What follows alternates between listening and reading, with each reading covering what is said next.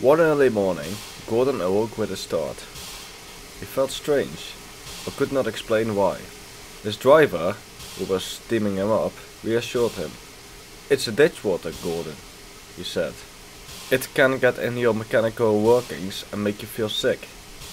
Gordon was satisfied, but what was odd was that he couldn't remember falling into the ditch, even though it had recently happened. The memory was fuzzy at best. I'm just exhausted from pulling the express so well, he chuckled to himself, and fell back into an uneasy sleep.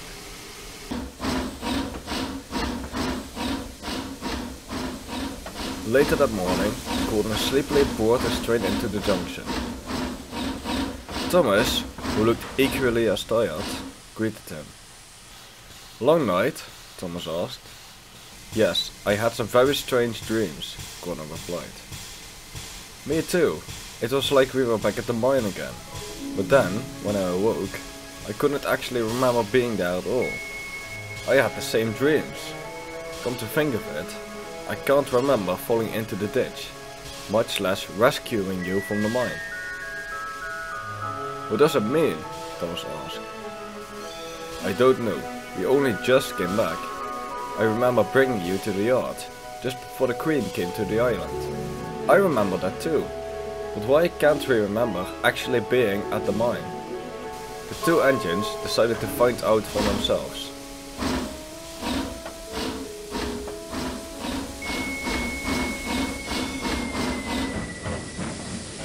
That night, the two engines puffed to the old landmines. They rode into the bend that led to the mines. But they were met with cautionary signs that read, Danger, collapsed mine ahead. We'll have to investigate from here, said the crews. They walked past the signs and towards the collapsed mine shafts. They came back a short while later. What are you doing back here so soon? Thomas asked. Nothing to see, let's head back. Thomas and Gordon didn't believe them. You didn't even take a light with you. How could you have seen anything? The crews insisted, but Thomas resisted. He spat for the cautionary signs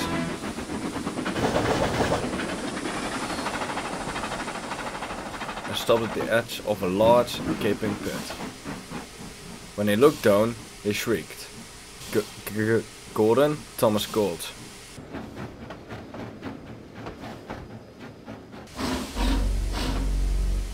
In the pit were two mangled engines. One looked exactly like Gordon and the other exactly like Thomas. Who, who are these engines? Gordon asked. A terrible feeling began stewing deep in his boiler. I can explain, said a familiar voice. The Fat controller stood next to his car. I had hoped this day would never come, but alas, here we are. These were you, he said solemnly. What do you mean, were? asked Thomas, distress in his voice. When you fell into the mine, Thomas, you didn't just fall. The mine collapsed beneath you, swallowing you whole. We tried bringing Gordon, our strongest engine, to lift you out with a pulley system.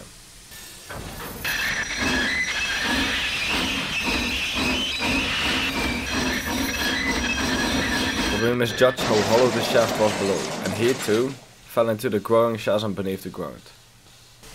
But how can we be here if we're down there? Gordon asked. It's a gruesome tale, said the Fat Controller. We had a major scandal due to our lack of judgment. And to save face, we saved your faces. There was a talented engineer from Crewe who moved your identities into new shells. The engines you see below, your former cells, were prototypes. Thomas and Gordon didn't know what to say. In that confusion, they began to cry.